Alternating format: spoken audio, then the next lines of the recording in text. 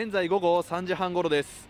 京都市内でも先ほどから風に吹かれて横殴りの雪が降り続いています。かなり視界も悪くなっていて走る車は皆ライトをつけて走行しています。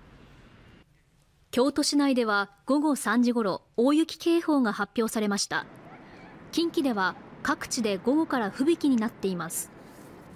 近畿で明日朝までの24時間に降る雪の量はいずれも多いところで北部と中部の山地は70センチ中部の平地でも30センチなどと予想されています。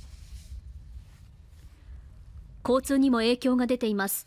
JR 西日本では北近畿などへ向かう一部の特急列車がすでに運転を取りやめています。